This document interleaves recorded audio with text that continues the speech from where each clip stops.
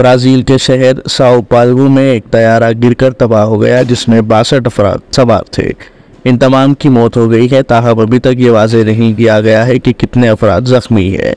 वीपास airline ने एक बयान में तस्दीक की है कि तैयारा, जो साओ पाल्वो के इंटरनेशनल एयरपोर्ट के लिए जा रहा था, गिरकर तबाह हो गया। जहाज़ में अट्ठावन मुसाफिर और अमले के चार अरकान सवार थे। बयान में ये नहीं बताया गया है कि हादसे की वजह क्या है ये तैयारा एक रिहायशी इलाके में गिरा, जिसकी वजह से कई मकानात इसकी जद में आ गए।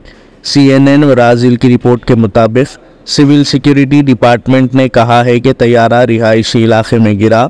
इस दौरान वो कई घरों से टकरा गया। इसका सिग्नल ब्राज़ील के वक्त के मुताबिक जुमा की दोपहर डेढ़ बजे गायब हो गया था।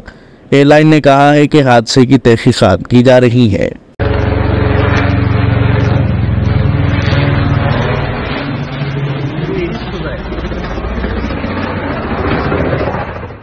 Tá porra! Caralho, bicho! Nó! Fudeu! É doido! Caralho, moleque!